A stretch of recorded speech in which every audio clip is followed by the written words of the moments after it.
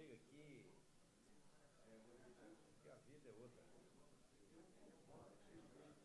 Aqui não vai ganhar nenhum voto aqui. Gente, bom dia. 9h45, nós marcamos para 9h30, demos 15 minutos de tolerância. Convidar Maurício Muniz para a mesa, que vai ajudar a gente aqui nas respostas. É, comunicar a presença do diretor-geral do DR, que está aqui com a gente, de Janeiro, o secretário adjunto Célio, o assessor jurídico da CETOP, Sebastião, o, a presença de Diácono Henrique, vereador de Santa Rita do Sapucaí, aqui presente, senhores empresários, pessoas presentes, Bom dia a todos. Vamos começar a nossa apresentação.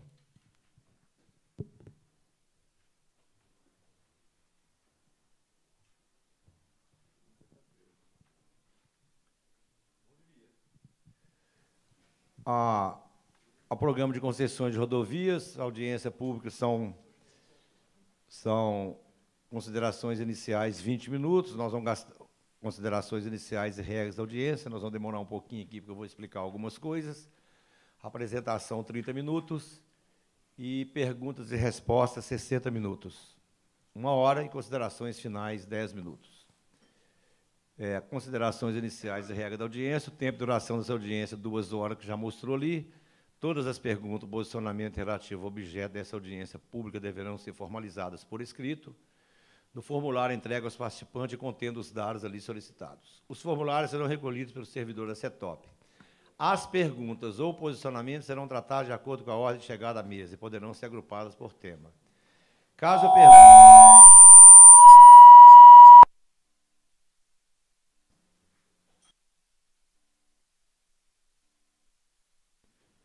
Vamos ver se eu consigo ler aqui, porque se ficar na frente da.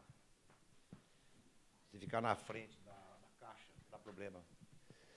Caso o tempo estipulado para a audiência pública se esgote, as respostas Perguntas recebidas e não respondidas serão disponibilizadas até 15 dias úteis após a audiência no endereço eletrônico www.transporte.mg.gov.br.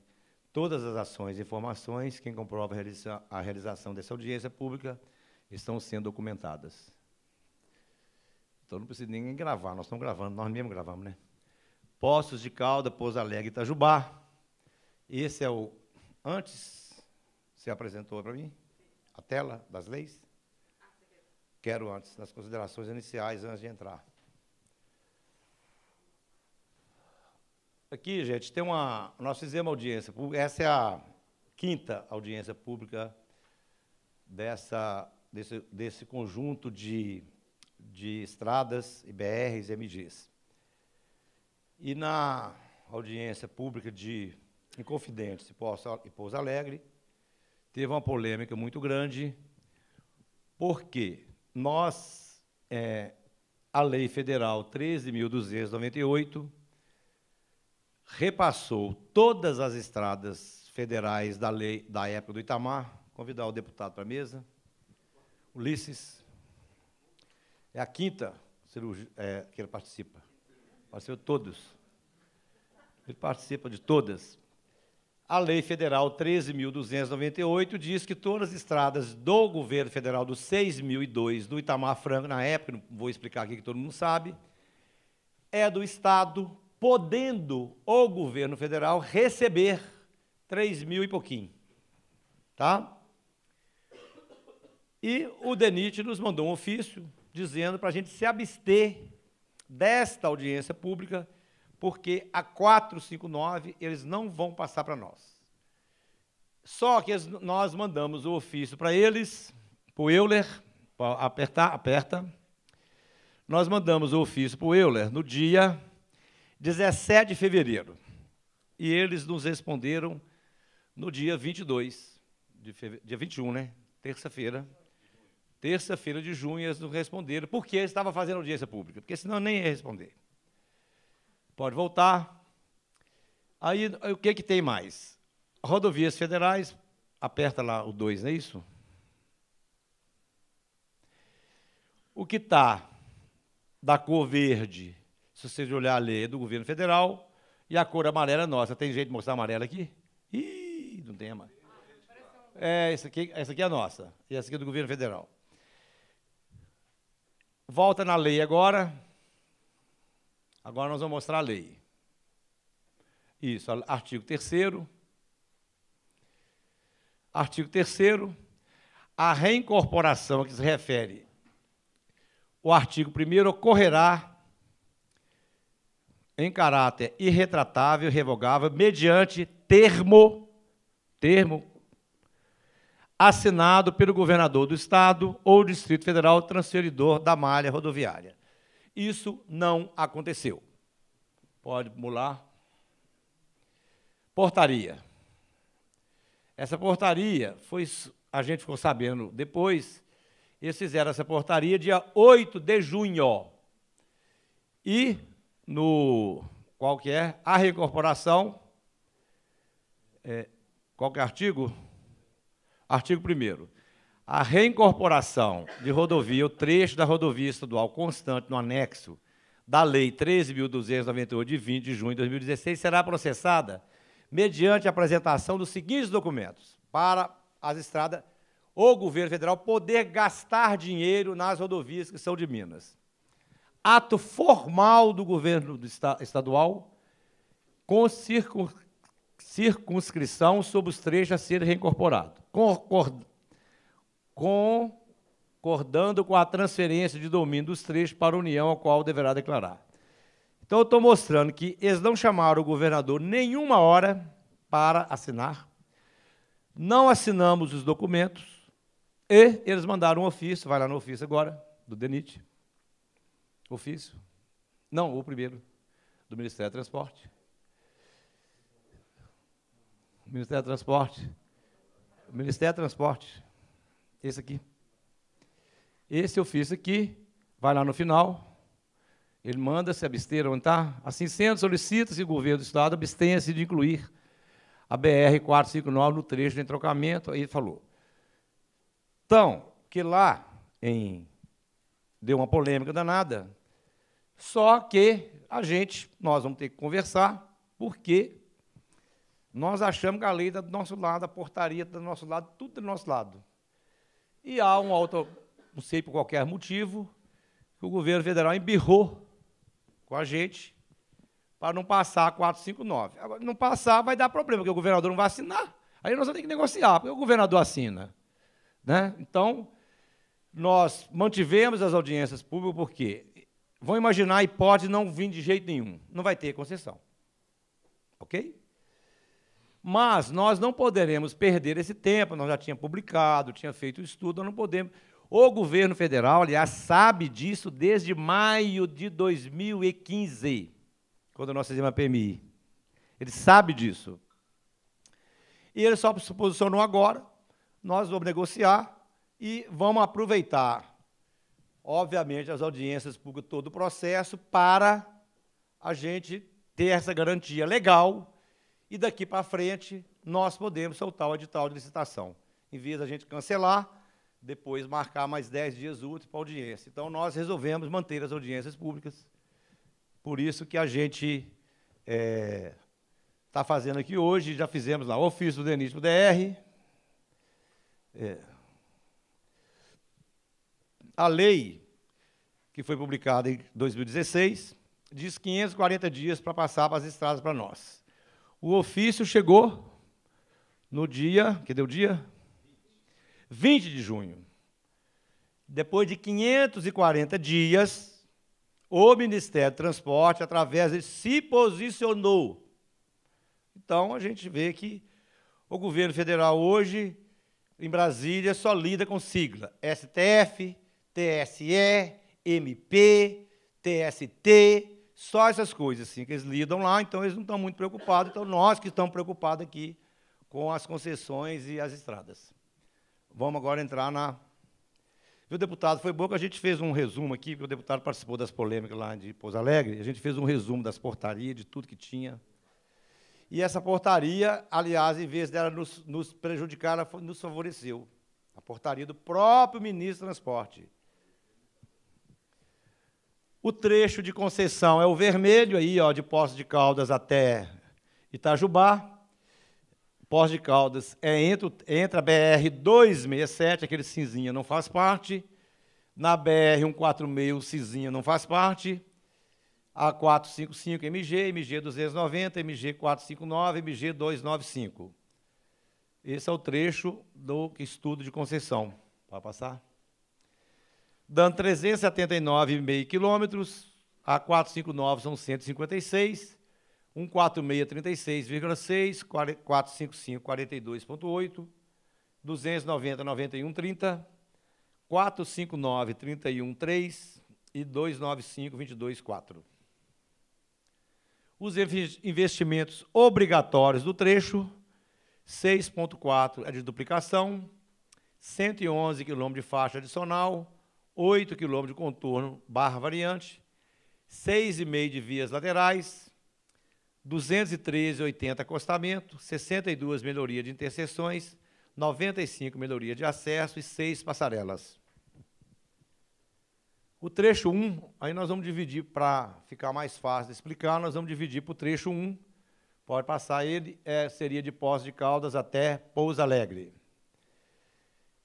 Ele tem, esse, nesse trecho, faixa adicional 16,5 e 3, contorno de Ipuiuna, 4,5, contorno de Cogonhal, nós deixamos obrigação para o Estado, melhoria e acesso, 14 ao longo de toda a rodovia, passarela 2 no perímetro urbano de Pouso Alegre, interseção em nível de três ramos, são quatro, dois em Ipuiuna e dois em Congonhal, interseção em nível tipo rotatória alongada, um próximo a de Caldas, melhoria em interseção existente, um na saída de Poços de Caldas, e parada de ônibus são 17.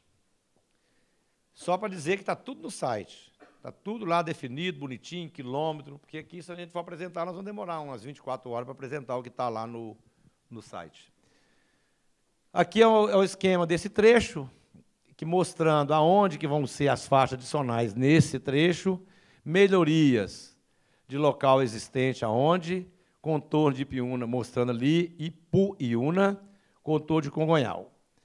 São 17 paradas de ônibus, duas passarelas, está mostrando lá, perto de Pouso Alegre.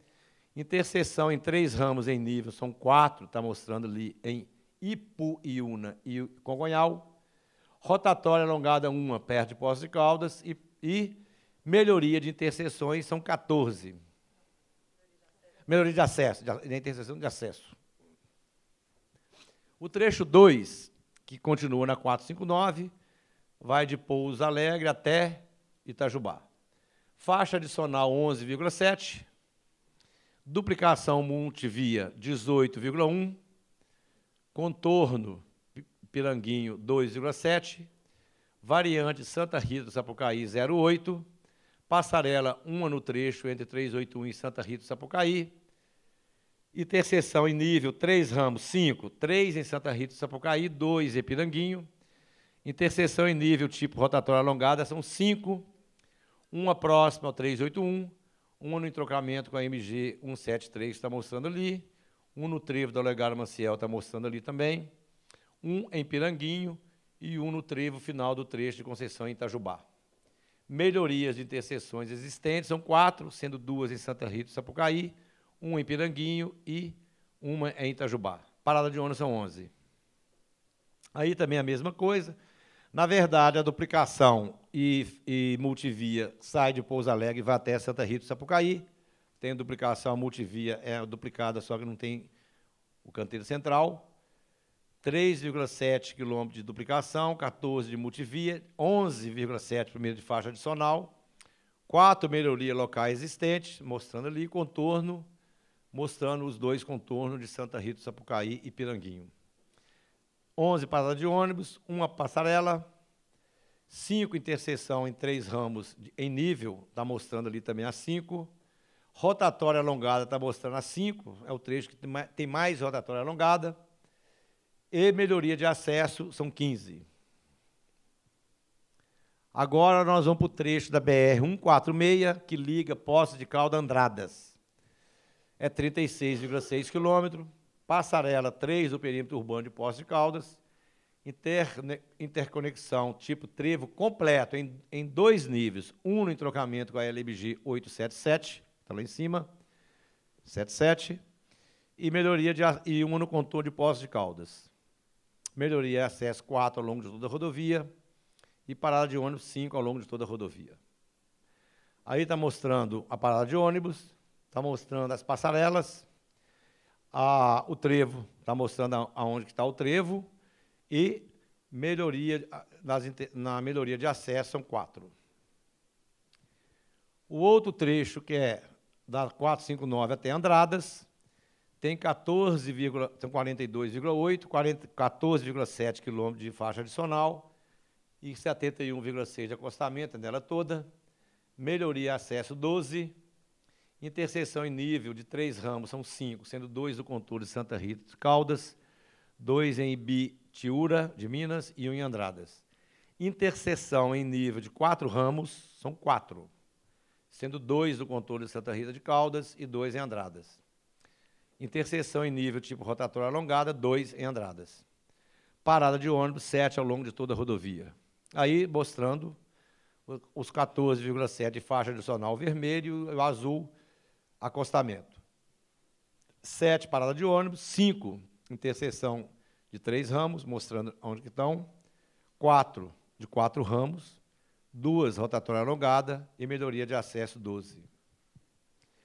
O 290, que é a, a, o trecho mais reivindicado da região, a estrada que, se não tiver concessão, o Estado algum dia vai ter que intervir, porque é 91,30 quilômetros, faixa adicional 27,40, acostamento 97,40, duplicação são 2,7 na saída de Pouso Alegre, contorno de Borda da Mata, obrigação do Estado, e vias marginais, saída de Pouso Alegre 1,8, Jacutinga no quilômetro 79,2 ao 80,8, interconexão tivo, trevo, trevo completo, 1 em Pouso Alegre, interseção em nível tipo rotatória alongada, são seis, eu falei que era no outro, é esse que eu tenho mais um em Pouso Alegre, Ouro Fino, três em Jacutinga e um na divisa Minas com São Paulo.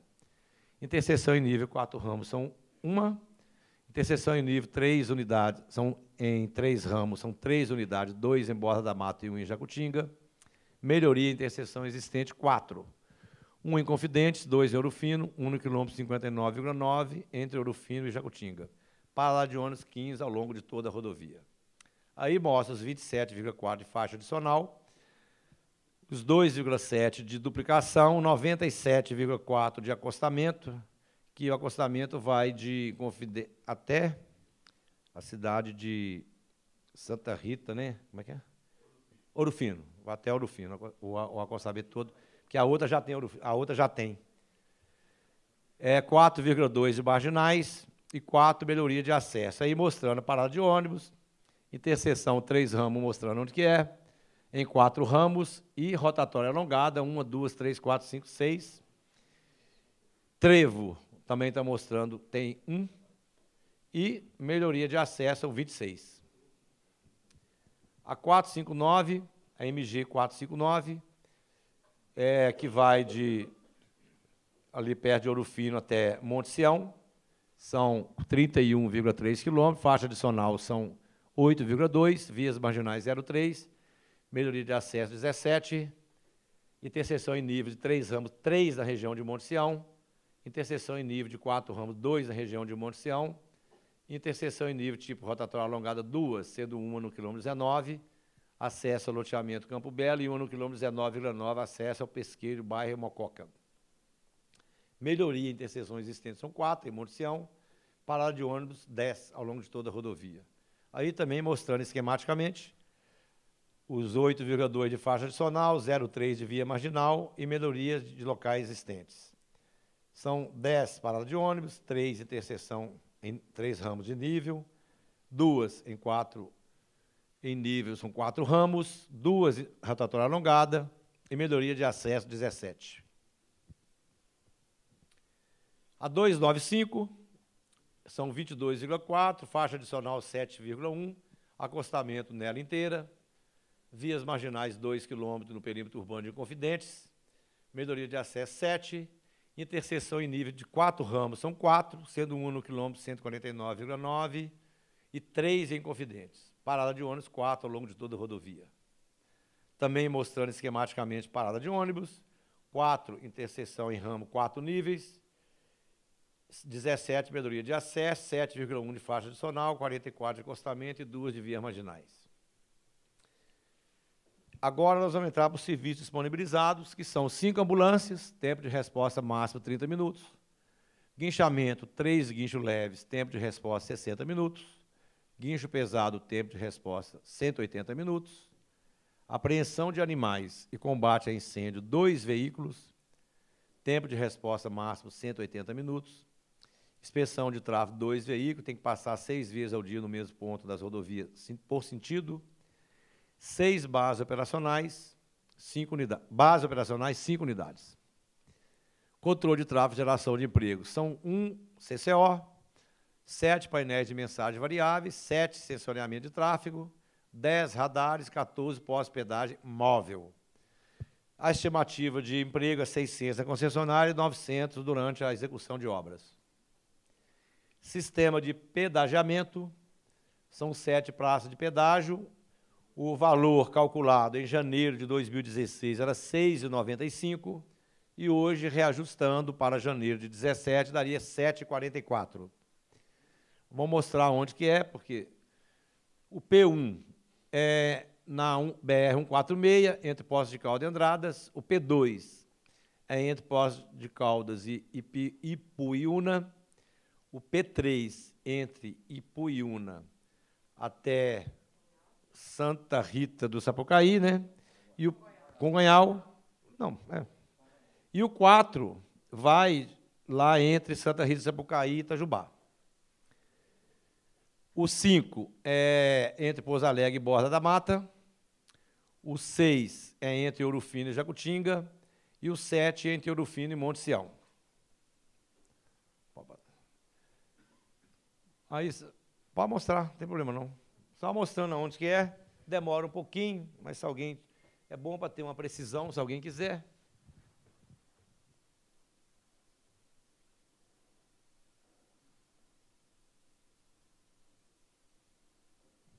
Esse sistema aqui é baiano, né? Só para fazer uma brincadeira, né? É mais lento. É mais lento.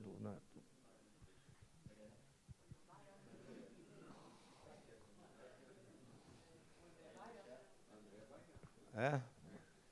É por isso que ele é sossegado.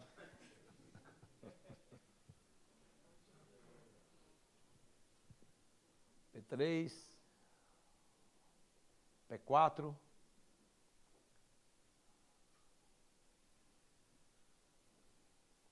Pedágio a gente sempre vai colocar no edital 5 km para cá, 5 km para lá, porque ninguém acerta, já tem um, um reestudo que nós vamos ter que fazer, no caso da cidade de Caldas, né? que foi solicitado, que tem dois distritos, os distritos, e eu tenho que pagar pedágio. Então, nós já vamos dar uma estudada no, no, no de Caldas. E do outro? E Monte Sião também tem uma reivindicação para a gente dar uma reestudada em Monte Sião. Mas eu acho que Sião, 5 quilômetros, é suficiente, atinge.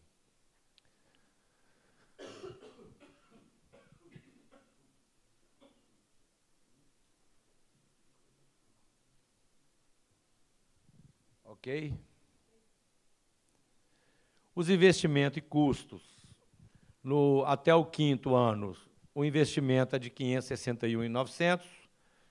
O total de custos e despesas, conservação, administração, seguro, vai 218, dando um total até o quinto ano de 780 milhões. Até o quinto ano.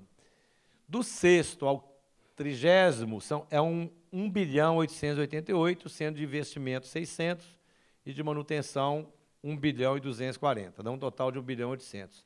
Somando tudo, o investimento seria de 2 bilhões e 668 milhões. Pode passar? É, aqui a gente mostra, só para dizer, com o imposto, né, porque o governo federal está querendo ficar com 459, vai perder imposto, né? Coisa boa. Tá, não está precisando, né? Quer dizer, do, uma, um investimento de dois, quase 3 bilhões em 30 anos reverterá para o governo 1 bilhão 259. Não é 1 bilhão 259, você tem que tirar 259, é 1 bilhão, porque 259 é de ISS. Os municípios vão receber proporcionalmente, tem uma regra do ISS. Então, imposto é muito caro, significa que se não tivesse imposto, nós poderíamos tirar 25% da tarifa. Pode passar? O PER também, como os, os, os interessados, tanto a população como os empresários, o PER está no site, tem que pegar e ler, não tem jeito. Todo, é, a gente só vai colocar aqui um geral, porque lá está tudo lá escrito, o que, é que tem que fazer. O PER é o que manda, né? Se o PER estiver bem feito, eu acho que a concessão é bem feita. Se o PER estiver complicado, aí nós não vamos para frente. Então, o PER é o segredo o pé, cronograma, execução de obra, que é o segredo. Atendimento aos padrões de desempenho e qualidade do serviço prestado, qualidade e capacidade adequada da infraestrutura, previsão de obras de melhoria e ampliação da capacidade obrigatórias, com cronograma pré-determinado. Esse negócio de cronograma pré-determinado, isso é um problema, porque dá, eu acho que se o Brasil vai evoluir, a gente não sabe se é para baixo ou para cima, a população vai ter que fiscalizar. A gente fala assim, vai começar a obra na MG 050 no dia 13 de junho. Não começa. Né? Vai começar a obra dia 1 de agosto. Não começa. Então, o concessionário não está nem aí para a população e para o poder público. E nós ainda temos que enfrentar a justiça para tirar o camarada. Pra, ou, eventualmente. Então, assim, o Brasil tem que evoluir, ou então não vai valer a pena fazer nada que eu, a, a, não, a nossa experiência de Minas Gerais, da primeira concessão que tem, não respeitam o usuário e o poder público. Então, nós estamos encaminhando agora a parte jurídica para ver o que nós vamos fazer. Não começa a obra, não faz aí a rima, contrata boy, com todo respeito ao boy, para fazer geometria, faz viaduto torto. Então, aqui tem muitos empresários aqui, vão fazer. Ah, não é possível que a engenharia pode ser tão ruim assim. Claro que o concessionário não é formado em engenharia, mas quem contrata a obra tem que ter uma responsabilidade. Atendimento à demanda de manutenção existente do nível de serviço. Aí vai na outra folha, nós vamos ver o nível de serviço. Essa é uma foto que a gente conseguiu, americana. Eu vou, o DR vai fazer uma para nós, viu? Até o final do ano de 2020, eles vão fazer uma foto do HCM Mineiro, o A é o céu, então ninguém quer o A. O A não existe no Brasil, nós não damos conta. O F não existe, né? o F é engarrafamento completo. E o E é mais, o E é quase engarrafamento, e nós, e nós trabalhamos com D. O Brasil inteiro trabalha com nível D. Se algum dia, podemos até pular para o C. Mas hoje o nível de serviço não pode ser E, chegando no E, tem que ter obra, é o gatilho. Então, o nível de serviço D. Durante a concessão, nenhum segmento poderá operar com nível de serviço E. E aqui eu acho que tem uma outra inovação que a gente vai ter que fazer, devido às audiências públicas. Esse nível de serviço ninguém sabe nada, ninguém enrola, todo mundo enrola a gente. Enrola nós, enrola todo mundo. Publica no site. Todo ano nós vamos botar no edital. A partir de um ano, nível de serviço qualquer, segundo ano, nível de serviço qualquer, porque senão ninguém cuida disso, né? Senão ninguém cuida. Senão fica despercebido, ninguém sabe. A concessionária é, obrigada a monitorar constantemente, fazer projeções de nível de serviço de rodovias. Caso as projeções do nível de serviço indiquem o atingimento do limite definido, a concessionária, com antecedência de um ano, deve iniciar a elaboração dos projetos para as obras necessárias para a manutenção do nível de serviço atingido o limite do nível de serviço, em qualquer dos trechos das rodovias, a concessionária terá o prazo de um ano para a conclusão e entrega das obras. A realização das obras para manutenção do nível de serviço é obrigatória por parte da concessionária e não ensejará a recomposição do equilíbrio econômico-financeiro do contrato de concessão. O edital, acho que vocês já devem ter visto aí, nós vamos fazer inversão de fases. Nós não vamos ficar habilitando ninguém, não. O negócio de habilitação tem que acabar, né?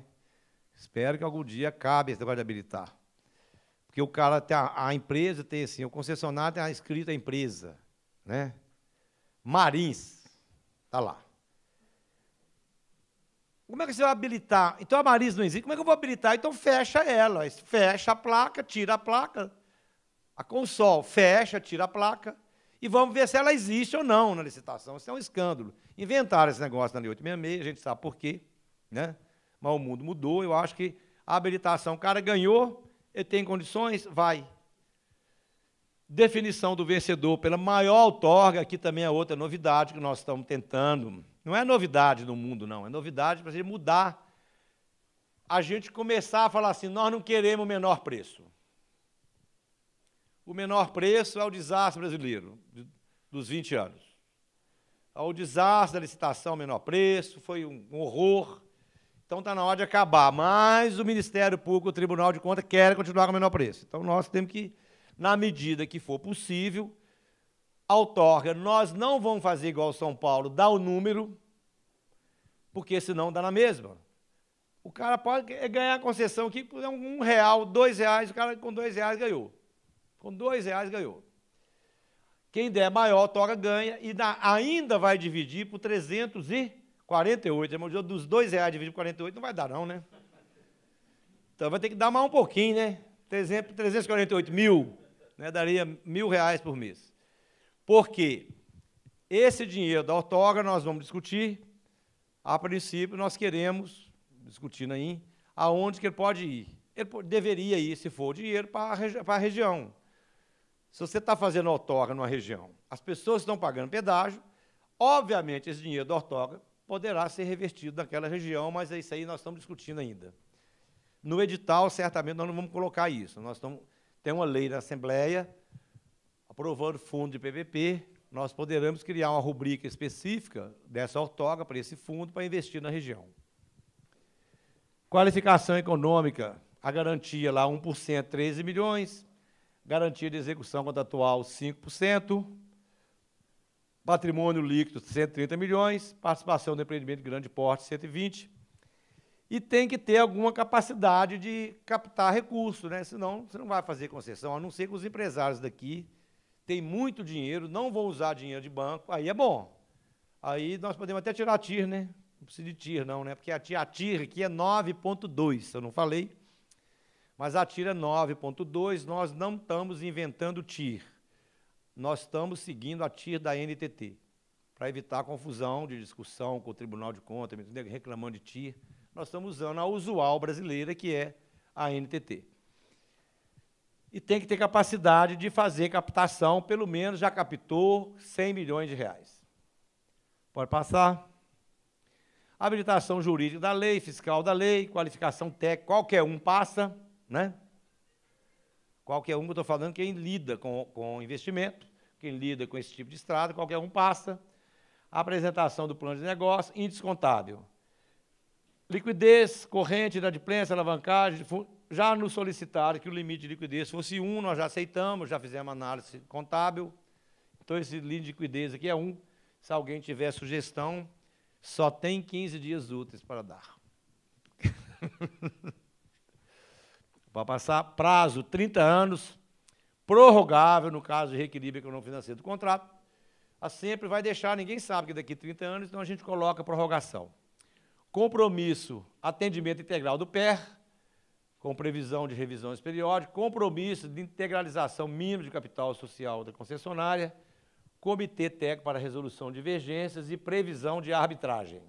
Contrato. A matriz de risco, aqui a gente.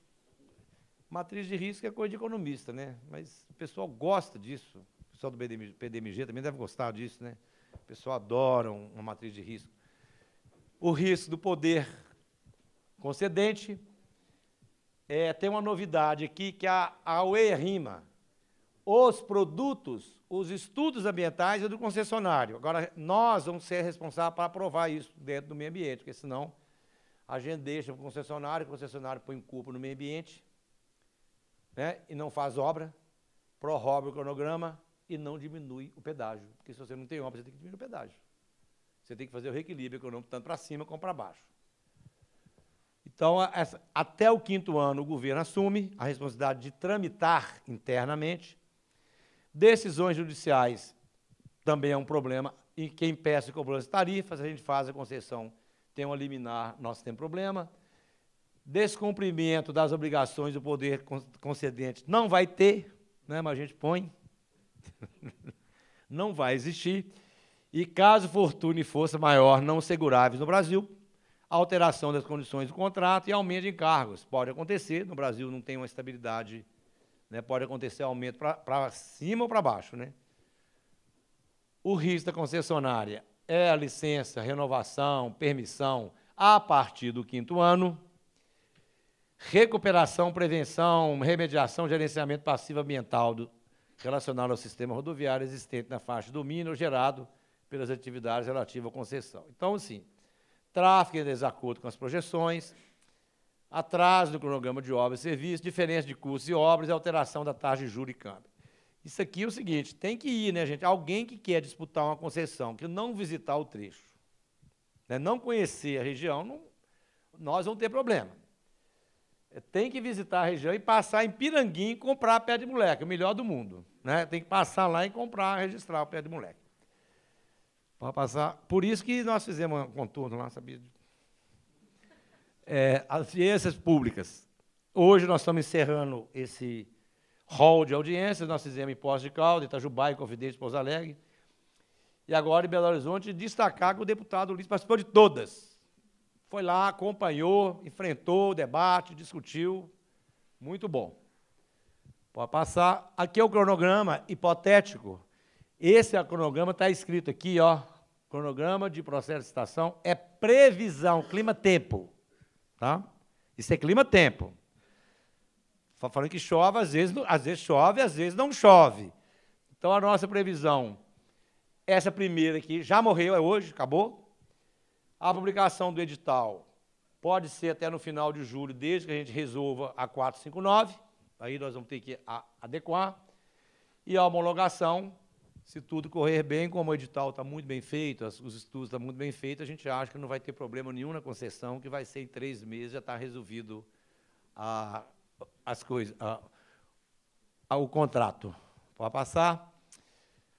Aqui a gente deixa aqui o, o site, alguém quiser tirar foto e olhar, vai lá no site, você acha tudo.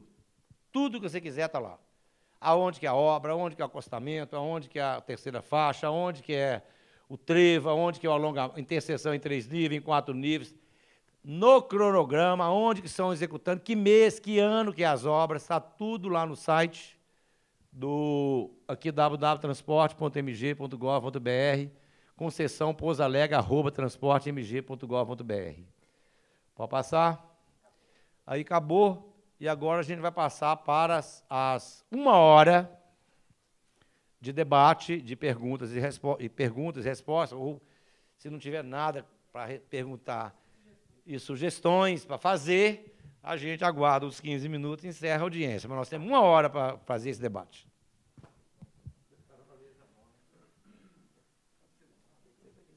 Senta aqui. O,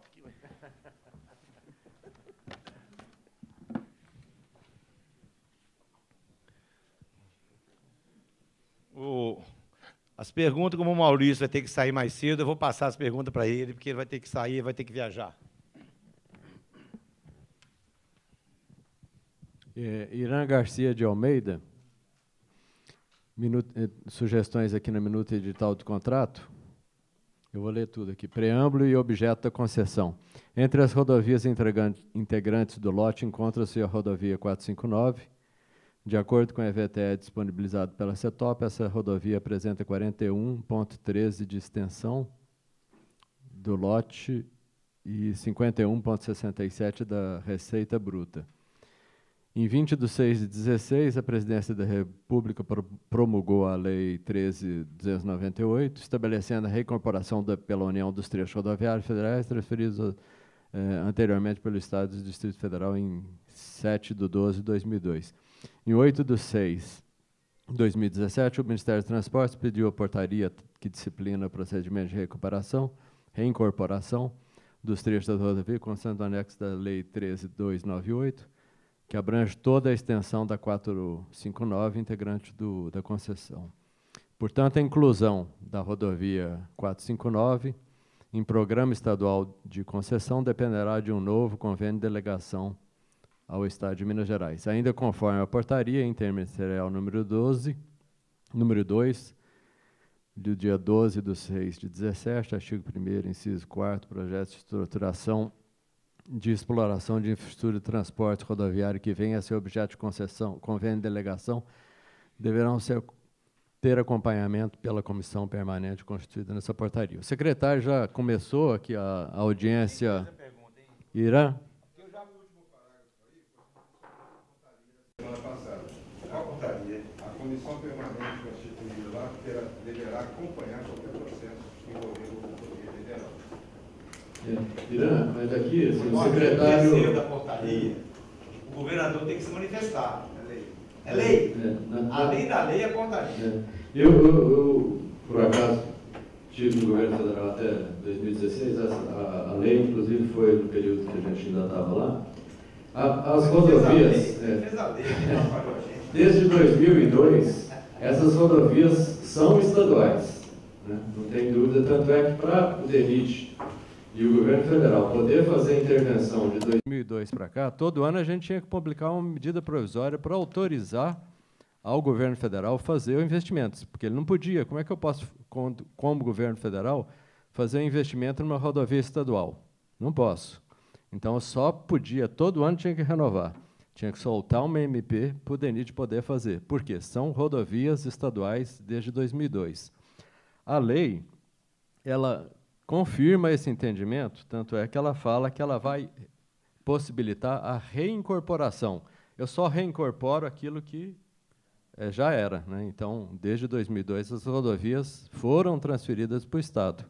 E a lei deixa muito claro, e, a, e essa portaria de junho agora, de 8 de junho, também deixa muito claro que essa reincorporação, como elas são do Estados, eu só posso reincorporar se o Estado concordar. Se o Estado não concordar, como é que eu posso reincorporar alguma coisa que não é da União, que é do Estado? Se o Estado concordar de devolver, aí ela reincorpora. Se reincorpora é porque ela é da malha estadual. Só posso reincorporar se o Estado concordar. Né? Mas como o secretário foi, deixou bem claro aqui, é, no, não vamos, nós, governo do Estado de Minas, não vamos entrar numa disputa legal, né, que ensejaria aqui. Quem respondeu o ofício foi o secretário, não foi o ministro. Né? Eu acho que tem um espaço aí de conversa, entendimento, mas do ponto de vista legal, não tem dúvida de que essa rodovia é estadual, a não ser que o governador, ela só volta para a União se o governador, como diz a portaria, a lei, é, concordar que ela vai ser reincorporada ao, à União. Né? Por, enqu- Portaria de legislação existe essa portaria Ok. interministerial da semana passada. Ok. Passando para a Secretaria do PPI, o acompanhamento. Se for se for federal. Se for federal. Essa é estadual. Porque, por exemplo, as, os 2.900 quilômetros, a partir de hoje, quem vai dar manutenção é o DR. A partir de hoje. Né? A partir de hoje. Então, toda a malha. Ah, esse debate é uma disputa. Eu acho uma disputa muito ruim de quem propôs. Porque nós não vamos fazer cavalo de batalha, não vamos fazer confusão nenhuma com isso. Aliás, o mundo político adora uma confusão, não queremos. Tá? Então nós vamos negociar em alto nível, se não der, né, nós vamos, soltar o edital da 135, vamos publicar a concessão, a, as audiências para 424 e vamos tocar a vida. Agora, entrar no debate que algum, ou partido político ou alguém queira fazer uma disputa, ninguém vai ganhar. Então não vale a pena, ninguém vai ganhar. Então a gente está a gente acha que o pessoal é doido, né? Porque você tem lei. Tem por- até a portaria do ministro fala que o governador tem que se posicionar. E vem um ofício dizendo que não pode, que está resolvido. As pessoas são muito ousadas, né? De vez em quando cai um, né? É assim que é a vida, né? De vez em quando cai um. Né? A próxima pergunta aqui, você vai embora, você vai ter que responder tudo. É, qual é a, é a pergunta do. Aqui não, é, não consigo ler o nome da pessoa. É Marcos? Marcos? Marins, Marins. Marins. é Marins. Ah, Marins. É, qual é o prazo para apresentação de documentação na inversão de fase após, após, após proposta de, de, Você entrega todos os documentos, você só faz a inversão. Né? Você vai examinar primeiro, em vez de. Normalmente, né, pela 866, você fica examinando toda a documentação de habilitação, regularidade, etc. Aqui você só inverte, mas a, a entrega é na mesma... Junta, a entrega é junto. Os envelopes é na mesma data. Só que fica o seu envelope guardado de habilitação. E a gente abre o de preço.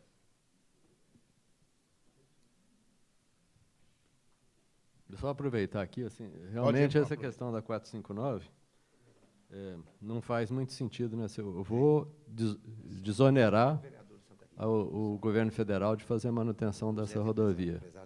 Eu vou levar investimento para a região é, e vou gerar um, um, imposto para o governo federal, né? Qual que é o interesse de não que essa concessão não ocorra, né? Realmente não faz, assim, não tem nenhum ponto de vista ra da racionalidade, né?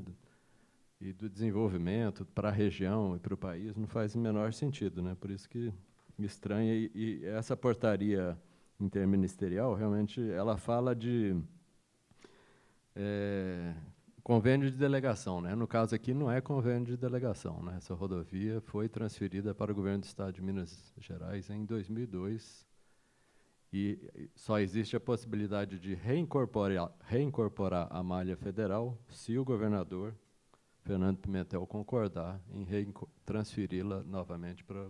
Mas hoje ela é uma rodovia estadual, portanto, aqui não é convênio de dele, delegação. É só nos pagar a lei Candida, a gente resolve a 459. É, dá.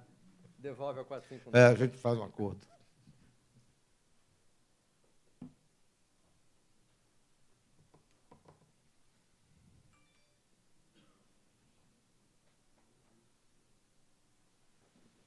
As outras audiências lá eram mais quentes, né, né deputado? Lá, lá o negócio pegou, hein?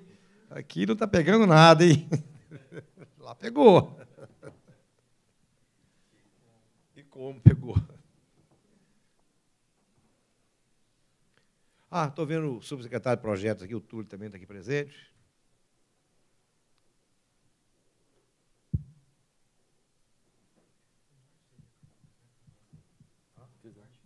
Já fizemos todas. Inclusive aqui. De 135, nós fizemos a primeira aqui, depois fizemos em Montes Claros, depois em Codesburgo. Fizemos nas Pontas e aqui em Belo Horizonte. E microfone.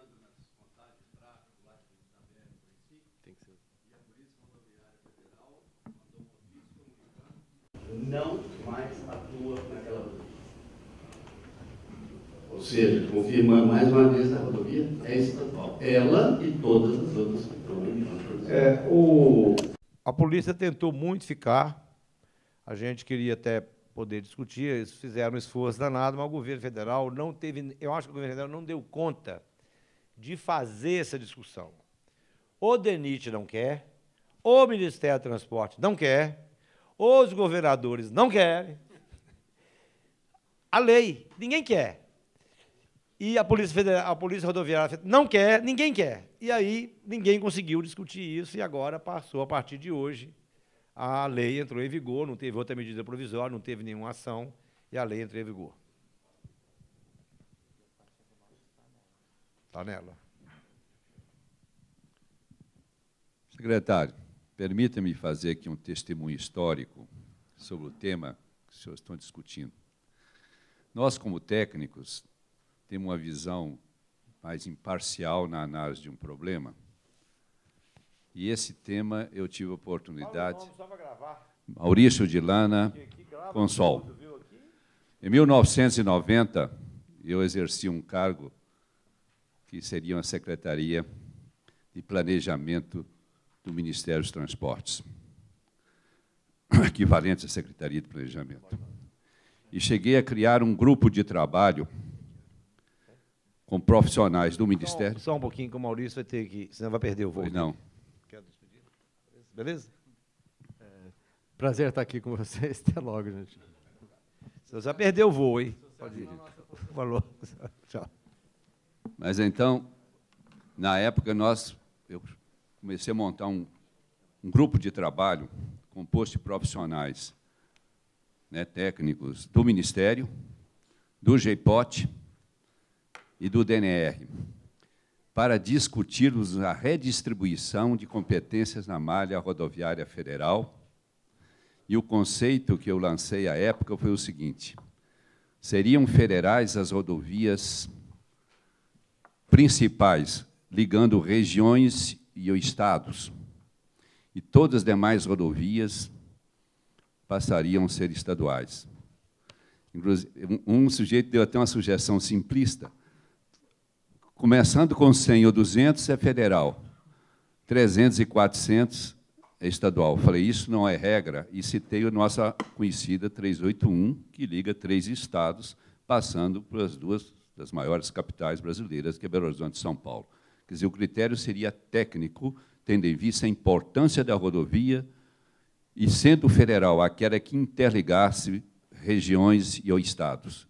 E a 459, pelo que nós estamos vendo no mapa, é uma rodovia de interesse regional do Estado. Só estou dando essa contribuição como conceitos que foram discutidos em 1990, mas eu acho que os interesses políticos é, foram maiores do que a visão técnica e econômica da época.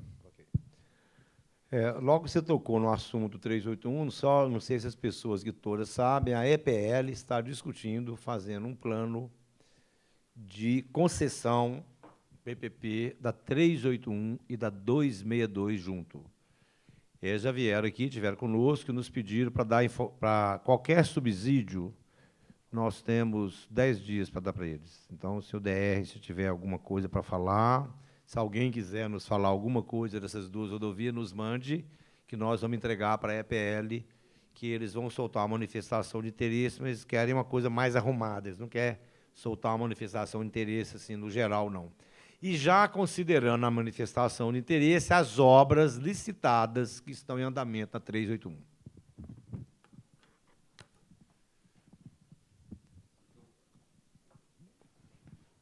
De novo, Maurício Lana Consola. Doutor Murilo, ao, ao lhe cumprimentar hoje, eu fiz referência à nossa idade. Então, eu quero só fazer mais um testemunho histórico. Nós, quando fizemos o estudo da 381 para concessão, contratados pela FIENG, no governo Itamar, por razões políticas, tudo que foi aprovado no Ministério, ou melhor, aqui na Secretaria de Transportes, no dia da discussão na Assembleia Legislativa, manifestações de um secretário do governo Itamar, coincidentemente da região servida pela 381-262, se manifestou o contrário. E foi frustrante o resultado que não ocorreu. Eu estou contando uma história da década de 80, em que nós teríamos, através da concessão, a viabilidade de duplicar a estrada até João Monlevado na primeira etapa e, evidentemente, a outra em função das demandas de tráfego. Okay. Olha a ironia da história, só para complementar.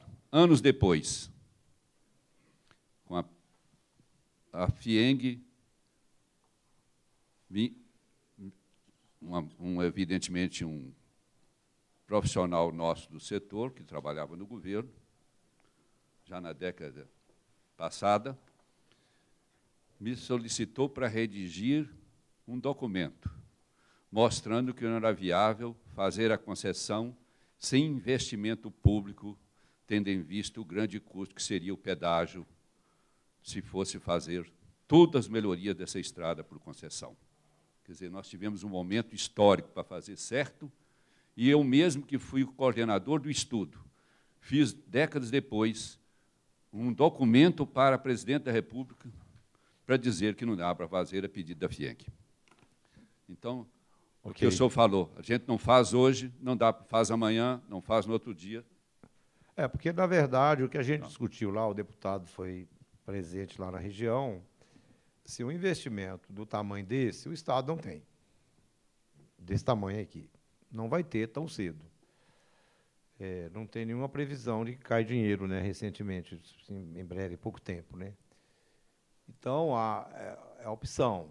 Vamos fazer uma concessão, tem investimento. Se não fizer a concessão, os investimentos são pequenos, espaços, né? e alternados, porque não tem continuidade. Se ninguém mais vai fazer pergunta, vamos dar aqui uns 15 minutos, uns 10 minutos aí. Se ninguém fizer pergunta, a gente pode passar para as considerações finais.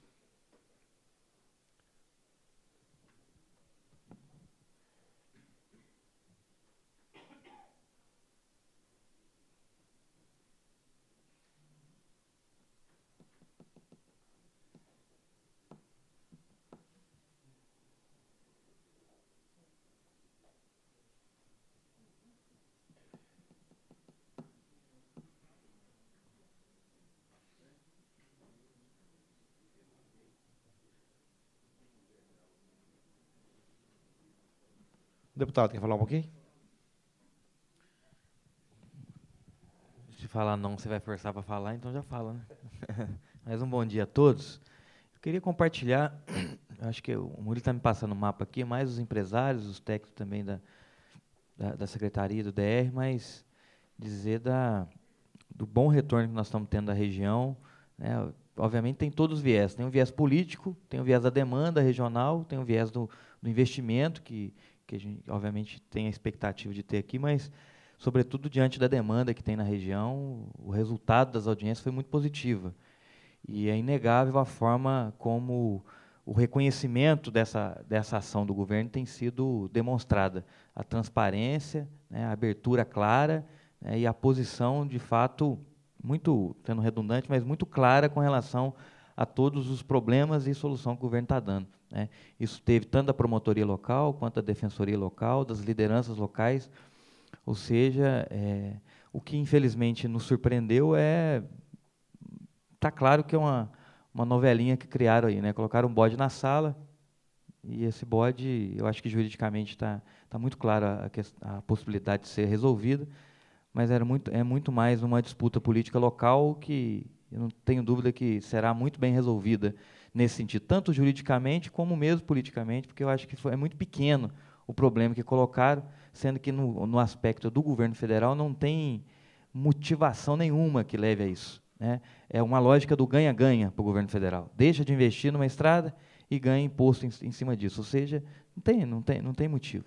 Então, no aspecto regional, eu queria, se isso contribui aqui, tranquilizar nesse sentido, mas mais do que isso, parabenizar mais uma vez toda a equipe pela disposição, pelo empenho, por toda, eh, digamos, toda a transparência que motivou essa essa audiência, essa rodada na região, os, o retorno, apesar, obviamente, se, quando você abre muito debate para a sociedade que não está envolvida no, no conjunto das informações, o foco muito muito direcionado pela mídia local, todas que a gente mapeou, né, a primeira manchete é pedágio. Né? Então, obviamente, você induz a, o cidadão a questionar o pedágio. Mas qualquer debate que você, todos, qualquer debate que aprofunda após esse questionamento, é, ele, ele torna-se positivo diante da necessidade do impacto de desenvolvimento, de garantia de segurança, de melhoria nas estradas que esse, é, esse processo promoverá. Então, nesse sentido, parabéns mais uma vez, secretário. Obrigado, deputado, pelo apoio durante todas as audiências. Ficamos muito felizes. A CETOP agradece, o governador Fernando Pimentel agradece. Gente, nós vamos fazer igual leilão, dou-lhe uma. Né? Igual leilão. Ninguém quer falar.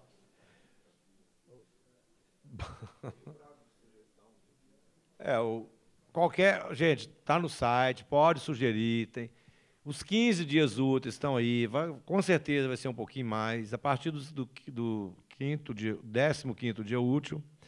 A partir de segunda-feira, nós vamos enviar. Eu estou dizendo assim, porque as sugestões era bom vir mais rápido, porque eu já vou pegar esse processo todo e já entregar para a GE preparar a licitação, porque lá da GE demora uns 30 dias para a gente estar tá negociando com o governo federal. Nós vamos já mandar o processo, abrir um processo a partir de hoje e mandar para a GE.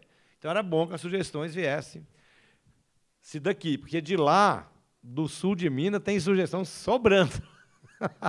é muita. Não é pouca, não, mas aqui teve pouca. Então, gente, ó, se ninguém vai falar. Oi.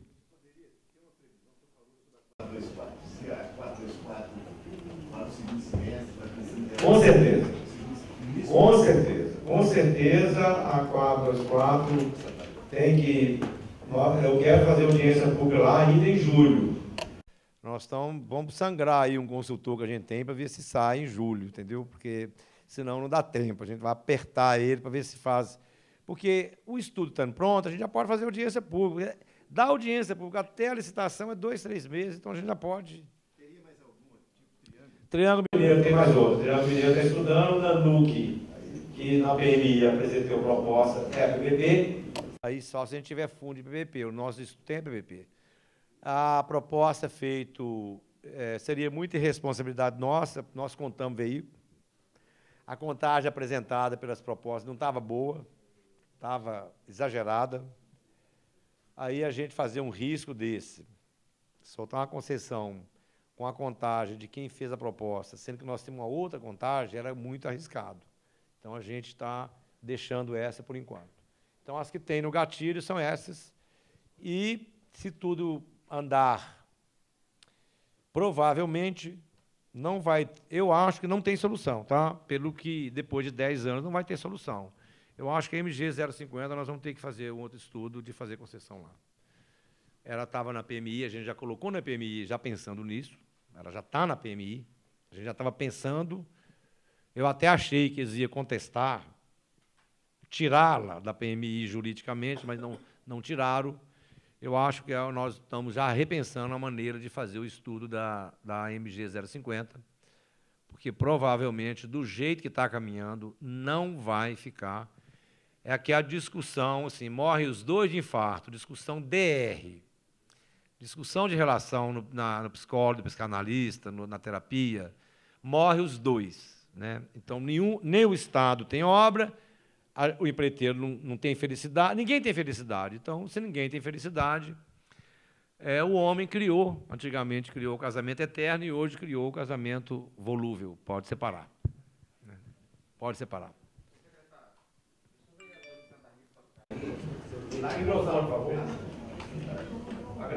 É, é. Meu nome é Jaco Constante, sou vereador de Santa Rita, Sapucaí. Lá em Pouso Alegre eu já fiz esse apelo. Eu gostaria de deixar registrado aqui também. Nós temos a margem da BR-459 em Santa Rita, um bairro conhecido como Pedreira. E há mais de 20 anos, é uma reivindicação da comunidade a instalação de uma passarela. Na época, chegou a ser, até ser divulgado o empenho, até que já estava a verba até destinada e não saiu.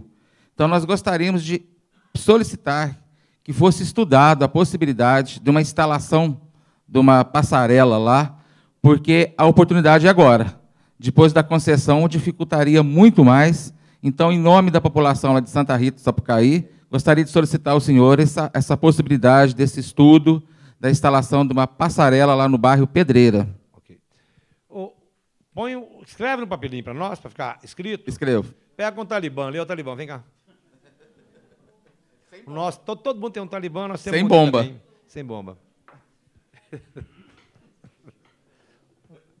Nosso amigo. É. Ô, gente, tudo bem aí? Tem mais Só lembrando, vereador, que lá em Pouso Alegre nós tivemos essa dúvida que o Maurício ficou de estudar que tem a previsão daquele pequeno contorno que tira do bairro. E por isso não há previsão da, da passarela. Então, uma coisa talvez elimine a outra.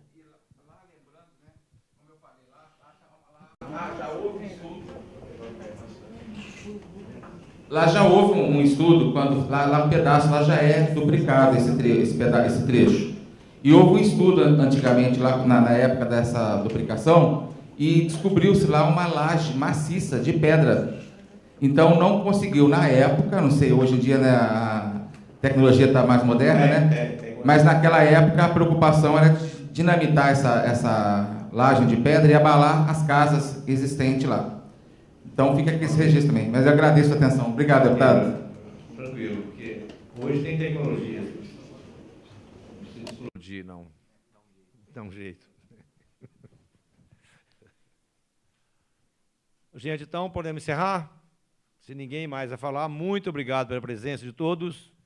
Um bom final de semana, boa sexta-feira. Cuide do frio, que vai fazer muito frio, gente. Segundo o clima tempo, em previsão. Um abraço.